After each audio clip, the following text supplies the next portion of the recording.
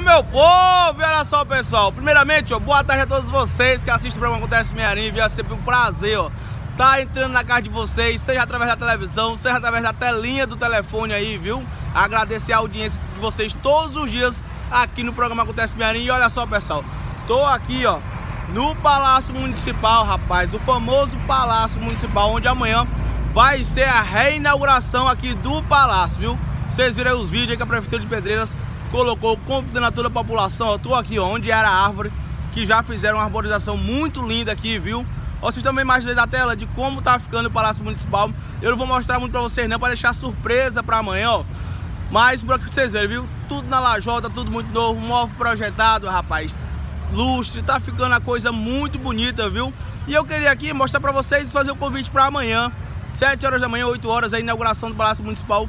Convidar aí os aposentados, rapaz os aposentados aí que sofreram aí, rapaz, o desconto do seu aposento.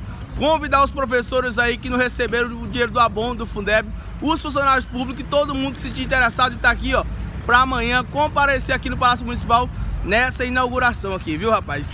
Eu ia dar até uma muda de planta para prefeita aqui, mas parece que ela já plantou aqui, já ficou um negócio bonito, viu? Mas Repórter do Povo tá aqui, ó, no Palácio Municipal, combinando vocês para amanhã, 7 de setembro, a reinauguração. A faixa elevada recém-construída aqui, ó, já está sinalizada.